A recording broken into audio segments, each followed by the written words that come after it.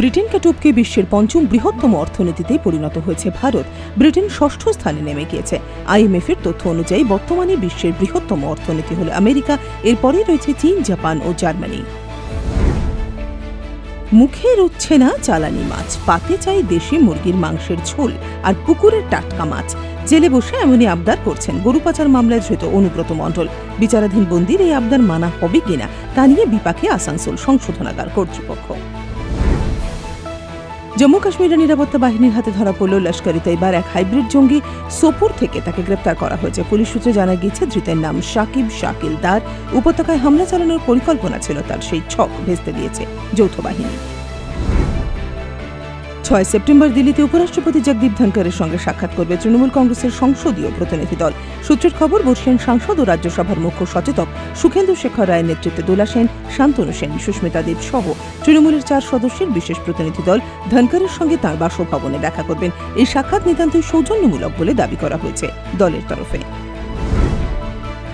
আফগানিস্তানে ফের মসজিদ চত্বরে বিস্ফোরণ। হিরাট প্রদেশের গাজারগাহ মসজিদে বিস্ফোরণে নিহত হয়েছেন আঠেরো জন, জখম হয়েছেন তেইশ জন। তাদের হাসপাতালে ভর্তি করা হয়েছে। এখনও পর্যন্ত কেউ হামলার দায় স্বীকার করেনি, তবে আইএসের দিকে সন্দেহের তীর। পুরনো শত্রুতার জেরে এক পরিবারের ওপর অ্যাসিড হামলার অভিযোগ উঠল এক প্রতিবেশীর বিরুদ্ধে। মুর্শিদাবাদের রঘুনাথগঞ্জ থানার জরুর গ্রামের ঘটনা এটি। অ্যাসিড হামলায় গুরুতর জখম তিনজনই বর্তমানে জঙ্গিপুর মহকুমা হাসপাতালে চিকিৎসাধীন। এশিয়ান হাইওয়েতে বাইকের ধাক্কায় মৃত্যু হল সাইকেল আরোহী এক বৃদ্ধের বীরপাড়া থানার ভগতপাড়ার ঘটনা এটি একটি অস্বাভাবিক মৃত্যুর মামলা রুজু করে তদন্ত শুরু করেছে পুলিশ। শ্রেণীকক্ষে চটুল গানে উদ্দাম নাচে মেতে ছাত্রছাত্রীরা দক্ষিণ দিনাজপুর জেলার গঙ্গারামপুরের নিরঞ্জন ঘোষ স্মৃতি বিদ্যাপীঠের ঘটনা। সেই ভিডিও ভাইরাল হয়েছে নেট দুনিয়ায় আর এতেই অস্বস্তিতে স্কুল কর্তৃপক্ষ।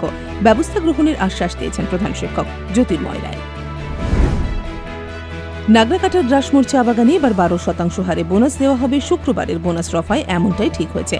আর এই খবর প্রকাশ্যে আসতে সেখানকার শ্রমিক মহলে ব্যাপক ক্ষোভ তৈরি হয়েছে। কুড়ি শতাংশ হারে বোনাসের দাবিতে শনিবার গ্রাসমোরের শ্রমিকেরা গেট মিটিংয়ে সামিল হন।